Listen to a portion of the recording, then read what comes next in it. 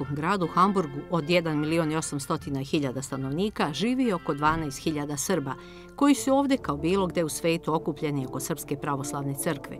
Tokom naše junske posete, prateći njegovu svetost, patrijarha srpskog gospodina Porfirija, tokom njegove prve zvanične posete Nemačkoj, preneli smo snimke sa centralnog događaja koji je bio i povod dolaska osvećenje hrama svetog Arhangela Mihajla u ovom gradu, a u današnjoj reportaži prenosimo vam deo interesantnih susreta i obilazaka.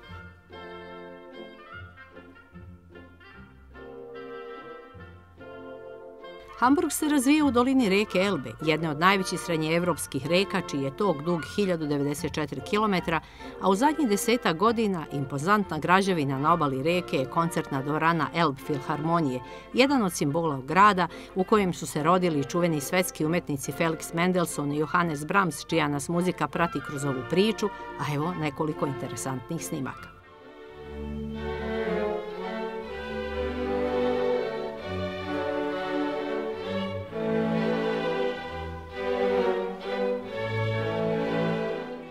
Zabeležili smo jedan susret sa rumunskim studentima koji su prišli da dobiju blagoslov srpskog patrijarha.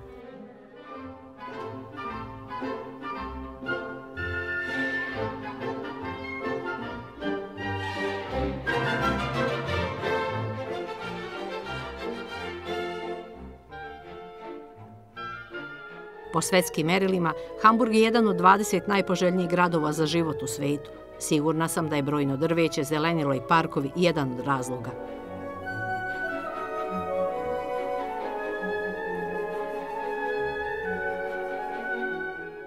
I još jedan od prepoznatljivih simbola je zgrada Rathaus, odnosno gradska skupština.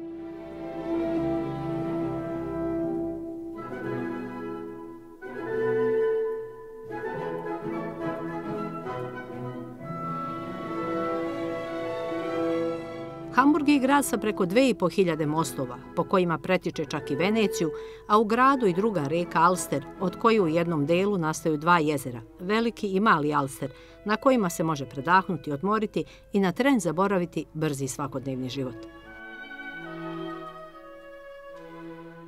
U Hamburgu, gradu brojnih parkova i park groblje, pomalo neobično, ali te kako interesantno rešeno. Pa su ljubazni domaćini organizovali delimični obilazak i upoznavanje patrijarha Porfirija, sa kojima su bili njegovi domaćini mitropolit Grigorije, Tepiskop, Irine i Sergije Jovan, sa najvećim parkom grobljem na svetu, saznali smo.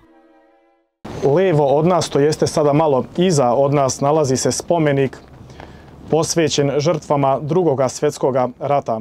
Nalazi se, ajmo onda, 105 urni se nalazi na tom spomeniku, punjene pepelom iz koncentracionih logora koji su delovali na teritoriji Rajha. Ukupno se na ovom groblju nalazi 13 ratnih grobalja i parcela, od kojih ćemo jednu i da posjetimo. S obzirom na ogromnu površinu od sa istoka na zapad 3,2 km i sa severa na jug 2,2 km, ovdje nije ništa neobično što se po groblju vozimo automobilima i gradskim linijskim autobusima.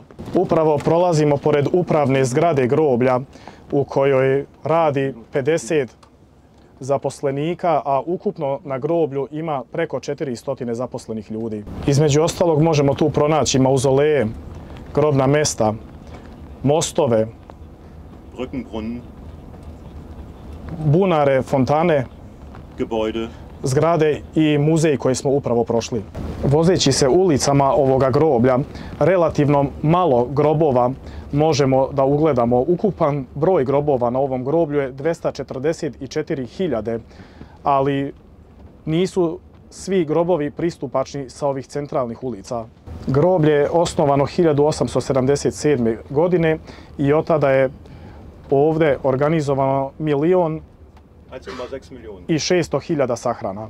Samo na jednom groblju ima više sahranjenih ljudi, a to je Bečko centralno groblje. Wilhelm Kordes, osnivač ovoga groblja, imao je nameru da od ovoga mesta napravi raj i za upokojene i za žive. Vidimo to i po jezerima, po potocima, po tim mostovima koje su već spominjali da postoje na ovom groblju. Kada su bile velike poplave u, u Hamburgu 1963. koje su odnijele mnoge živote, u, na, u sećanje poginulih i umrlih e, postavljen je postavljeno je spomen obeleže koje smo upravo prošli. Pogledajte u levo, to je spomen područje za poginule Hamburžane 1943 kroz savezničko bombardovanje. Od 56.000 žrtava toga bombardovanja 34.800 ljudi sahranjeno je na tom spomen području. Desno od nas nalazi se jedna nova kultura sahranjivanja gde ljudi mogu da se sahrane zajedno sa svojim kućnim ljubimcima. Kućne ljubimce kremiraju i polože ih u isti grob sa vlasnikom. Iza nas nalazi se istočna granica groblja i tako da smo prešli sa zapada na istok na 3,2 km koje sam pominjao.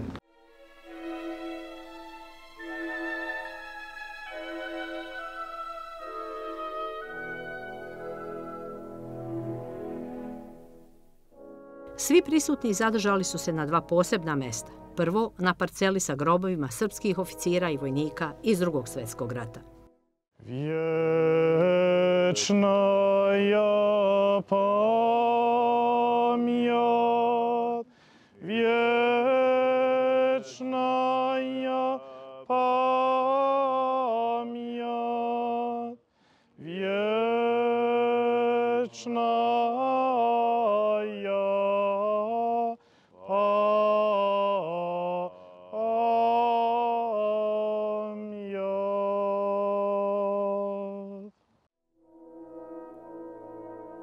Supruga jednog od naših domaćina, Siniše Aničića Hajdi, ulaže dodatnu pažnju ovom mestu kao i parceli za srpsko groblje koje je zvanično predato Srpskoj pravoslavnoj crkvi tokom posete Patrijarha Porfirija.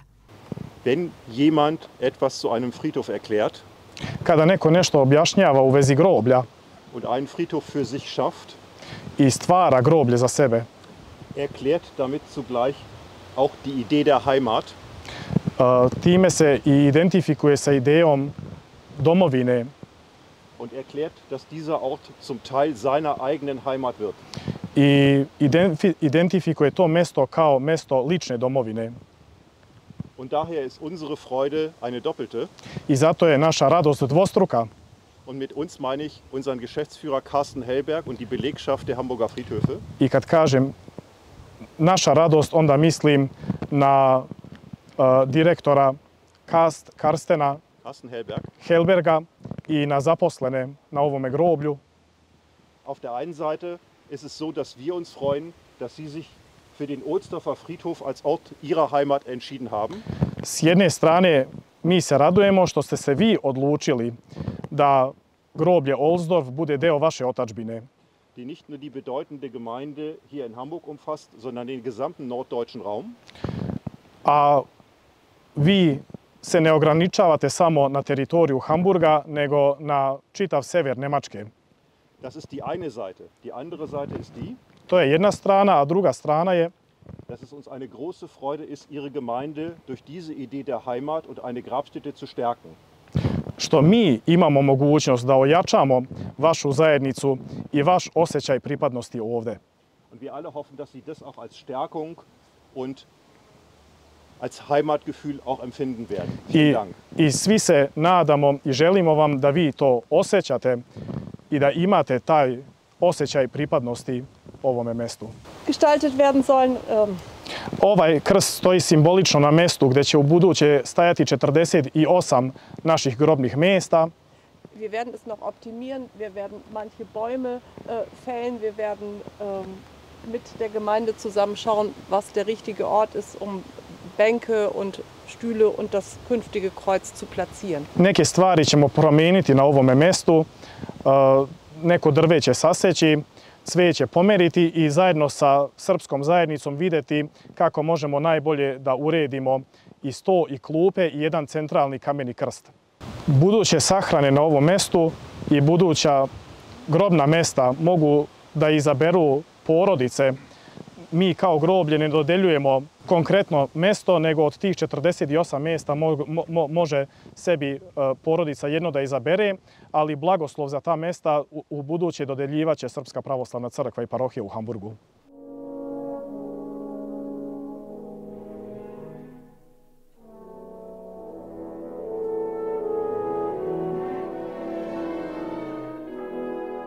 Patrijar Porfir i arhijereji posjetili su i spomenik žrtvama nacističkih logora u Nemačkoj koji se nalazi u centru park groblja Ohlsdorfa.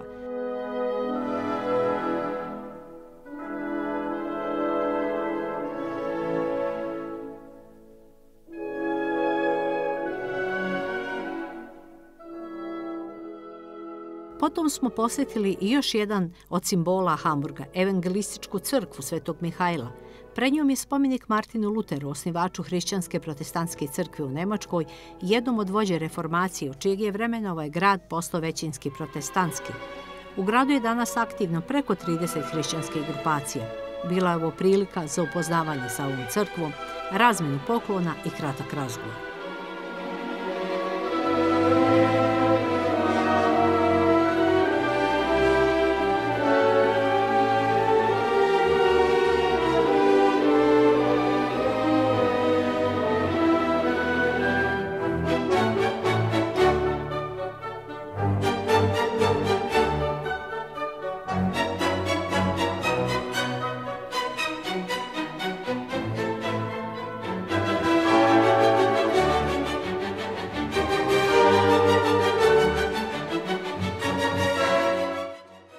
Nastavku idemo do naše crkve Svetog Arhangela Mihajla da čujete trojicu vrednih sveštenika ove parohije.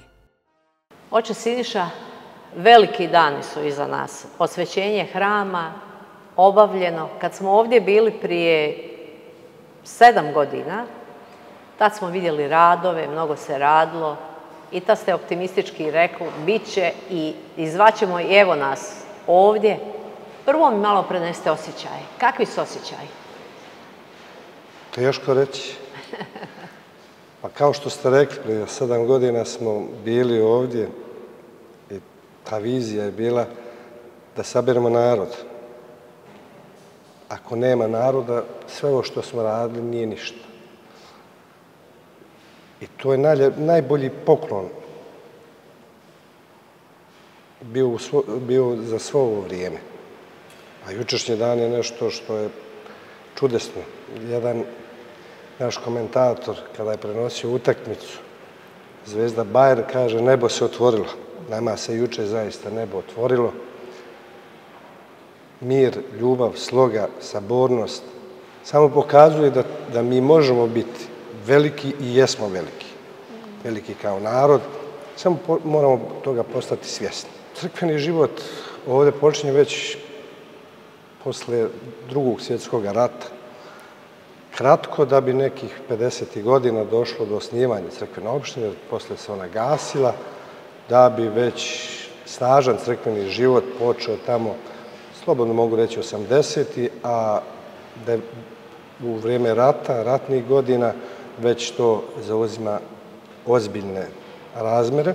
Tada smo bili u jednoj iznajmenoj crkvi, Štef Štrase, da bi 2000. godina kupili ovaj objekat od evangelističke, od Jehovini svjedoka i po isplaćivanju kredita krenula je velika obnova prije nas dvojice sveštenika, otac Borisa kao starešina i otac Dragan Jovanović, dali su veliki doprinos.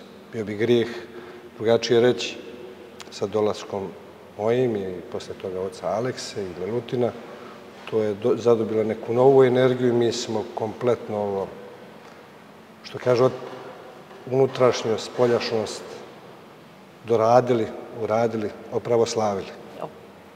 Da je opravoslavljena, vidi se nakon tih sedam godina, evo ja moram neki svoj subjektivni osjećaj da prenesem, kad sam prvi put ušla u sadu oslikanu crkvu, ja sam se osjećala, kao što je rekao njegova svetost u besedi, kao u svojoj kući, među poznatim likovima, onima kojima se mi obraćamo i kad smo tužni, kad smo veseli. Ali upravo to jeste duh naše parohije. Duh naše parohije jeste taj da se volimo. i da, i da treba da budemo voljeni. Treba da budemo srdačni jedni prema drugima i otvorni. Koliko god mi otvaramo srce, bit će povređeno. Ali to ne smije da spriječi nas u našem radu. Moramo da se bavimo našim parohijanima, ne da se parohijani bave samo nama. I to je ta sinergija koja nas... Kad govorimo o parohijanima, koliko je ovdje domova u koje ulazite, koliko ste zadovoljni i brojem ljudi, njihovim liturgijskim životom? Pa liturgijski život je, kao što sam rekao, najbitniji. Mi smo pre tih sedam godina imali stotinu, stotinu, pedeset, maksimalno u velikim prazicima dvijesta. Danas imamo 250. Sjećam se svake nedelje. Sjećam se prve sjednice crkvenog odbora, pa sad odbornici kažu šta, kakav je plan. Ja im kažem da dovedemo najmanje 250 ljudi i da bude treći sveštenik ovdje. Oni tad nisu vjerovali. A danas ne da vjeruju, nego znaju da je to odrađeno, ali to mora još i dalje, mora još i više. Ne trebamo da se, boje, da se bojimo da, da rastemo kao crkvena zajednica i hoćemo, naravno. A, A što se tiče sada, negde oko 12.000, da kažemo, Srba živi na teritoriji parohije, čiji presjek 250 km kao jedna eparhija. Interesantno je da mi imamo te misionarske aktivnosti, evo, otac Aleksa, ja i otac Milutin smo članovi jedne, jednog sportskog društva. To sportsko društvo je Nikola Tesla, njegovo ime. I mi smo u košarkaškoj sekciji i malo igramo sa njima, ali uvek i propovedamo. Uvek ih i pozivamo. Evo, juč, na jučešnjem danu 15 do 20 ljudi je aktivno učestvovali i pomoglo ovaj naš divni događaj. Ono što je također interesantno, vidjeli smo, svi su bili jedinstveno ovaj, obučeni, svi su radili. Kad spominjete ljude iz odbora, svi vi a, imate tu specifičnu, tu neku zajedničku sabornu crtu i mnogo ste složni. Jesmo. Jesmo i to je, to je poklon sa neba. Ma ne bi to bilo ništa da nismo nas trojice i naše supruge kako treba. Da primjerom pokazujete? Mi primjerom jednostavno pokazujemo i što kaže, volimo se. I to je najbitnija stvar. Da li ovdje postoji srpska škola? Ona... Ima. Imamo oko 100, 120 dece i jedan od, jedno od mjesta gdje se ono država jeste u crkvi subotom, gdje otprilike dolazi 35 do 40. Je to Ministarstvo prosvjete Republike Srbije plaća i u sklopu toga ona predaje i vernako divne su, na primjer, Svetosavske akademije, kada dođe 150 djece zajedno sa roditeljima, crkva nam je puna. Što kaže jedna baka, kaže, lijepo je vidjeti crkvu punu ko šibice. Imate li neku poruku za ljude koji dolaze da žive u Hamburgu, poziv da dođu, da vam se jave? Evo. Neka dođu u crkvu. To je prvo i osnovno mjesto gdje treba da se vidimo. I svaka vrsta pomoći koliko možemo, tu smo. Sa radošću, sa ljubavlju, zagrlit ćemo svako ko dođe. Koliko vi dugo živite u Njemačkoj, oče Aleksa? 18 godina. 18 godina. A inače ste rodom odakle? Iz Čačka. I, je li bila teška odluka da se dođe u Njemačku ovdje da živite? Pa jest, još uvijek nikad ne može da se navikne na sve. Da, da, da. Ipak je nekako naša zemlja opet slobodnija. Da, da, pa jest. Ali imate jednu jako bitnu misiju da budete ovde. Pa jest, tu je naš narod dođe sa raznih strana. Svi ovde mnogo više osjete potrebu i za Bogom i za crkom, pogotovo u ovom vremenu gde sve melje čoveka i, i tako nekako se ljudi, veći procenat ljudi ovdje dolazi u crku možda nego u Otačku to je, to je tačno. Recite nam, oče Aleksa, šta je to što su vaša, da kažemo, poslušanja i zadaci ovdje u ovoj vašoj složnoj svešteničkoj zajednici? Pa eto, tu sam se. Imam blagoslov da kažem da sam ovdje sa dvojicom. Apostol kaže, Pavle kaže, ne treba se hvaliti, ali eto, moram barem njih da pohvalim zato što su jedni od najboljih svešnika kome naše eparhije ima i dosta, stvarno dobrih ali otac Siniša i otac Milutin, to su pravi ono, apostoli, ljudi puni darova, koji imaju empatiju i osjećaj za druge, koji neustrašivi. I ja dođem kao Đoković kada su Nadal i Federer bili ovaj, bolji od njega. A ja sam sad tamo neki stotina, a oni su sad dva Đokovića. Dobro, ovo Tako da i ja napredujem s njima ovaj, pomalo. Ali rekli su mi da je jedan od vaših zadataka vezan i za ove neke van, recimo, crkvene aktivnosti. Pa dobro, idemo. Imali smo, ima tu jedno sportsko društvo da ima više sportova naš Nikola Tesla. I između ostalog smo malo pokrenuli, to je nekad bilo, pa je ugašeno, pa smo pokrenuli opet ovaj, mi i još par naših parohijana da se krene opet sa košarkarskom sekcijom. I onda smo mi kao penzioneri košarke počeli da igramo i mi i tako smo krenulo je malo to više i da ušlo je u to mnogo ljudi. Pa se na kraju osnovala i ta neka prva selekcija. Ostali smo mi penzioneri u toj beton ligi da ne možemo ispadnemo. I, i krenula je i, najmlađa. I ta, čak i devojčice imamo jednu selekciju. Tako da su ti ljudi i kroz nas vidjeli da smo mi ipak opet, pored što smo sveštenici, da nismo neki tamo ljudi koji smo nedostupni.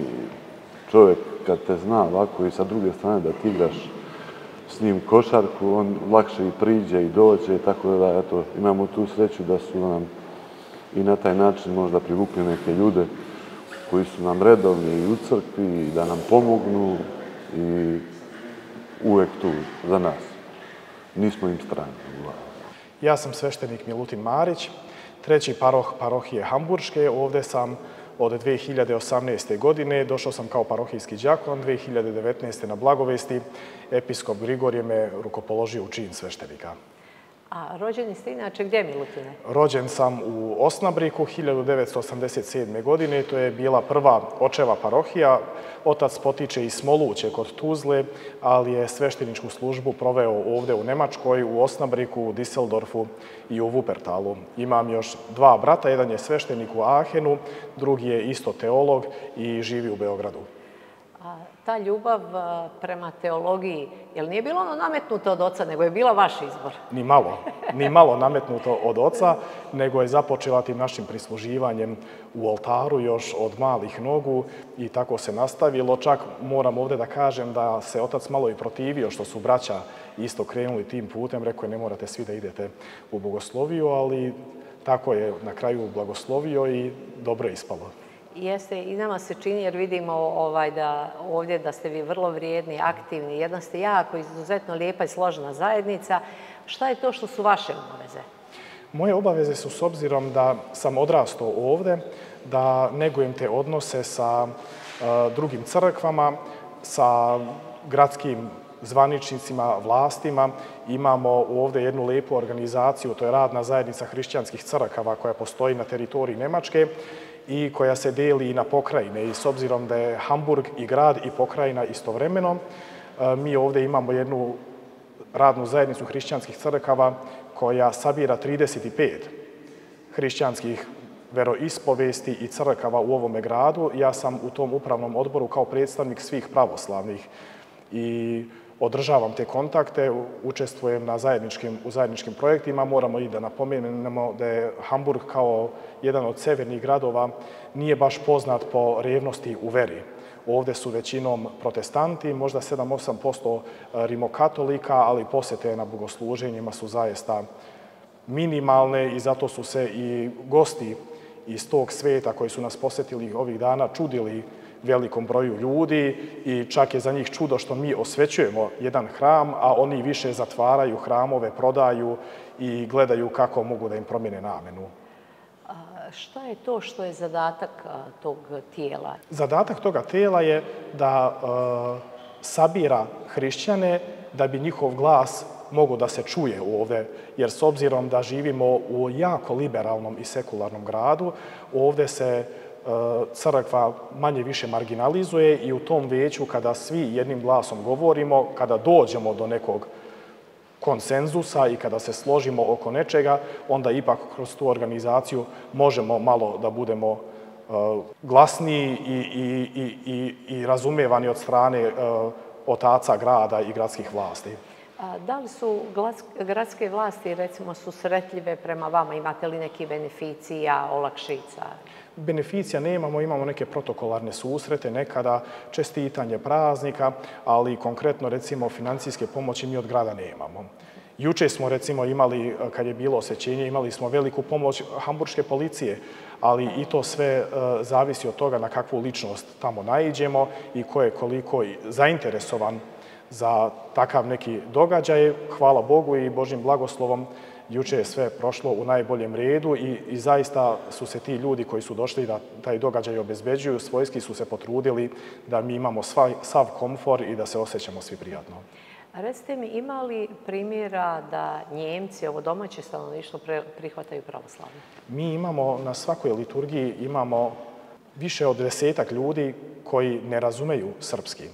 Od toga imamo Nemce, imamo Iranca, koga smo krstili skoro, imamo Gruzice, imamo Ukrajince, imamo ljude koji iz muslimanskog svijeta dolaze interesu interesuju se za pravoslavlje i ne razumeju srpski jezik, ali Nemaca konkretno imamo nekolicinu koji su veoma aktivni u našoj zajednici, prislužuju u oltaru, pevaju u horu i da bi i oni učestvovali aktivno i razumeli i bilo bi im prijatno na našoj službi, mi čitamo apostol i evanđelje na dva jezika.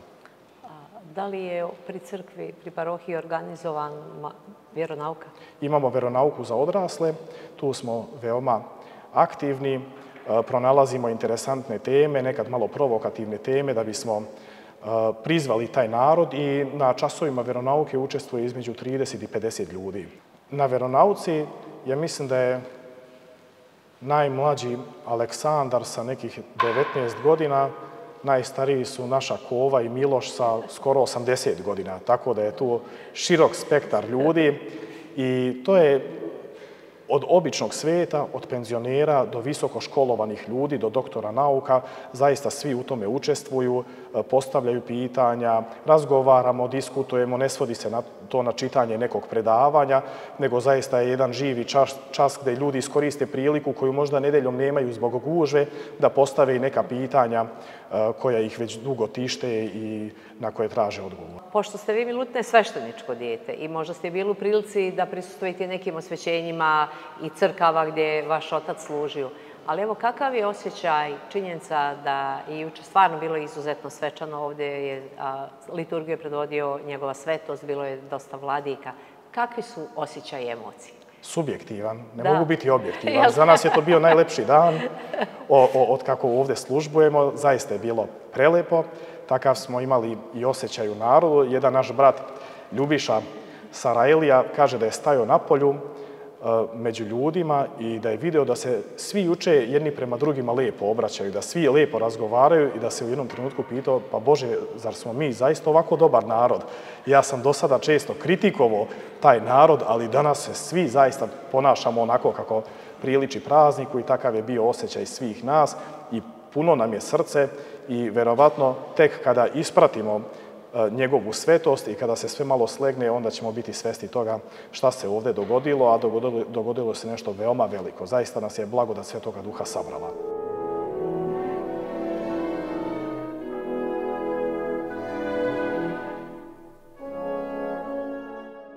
Trodelnu priču o posjeti Hamburgu završavamo u narednoj emisiji za sedam dana.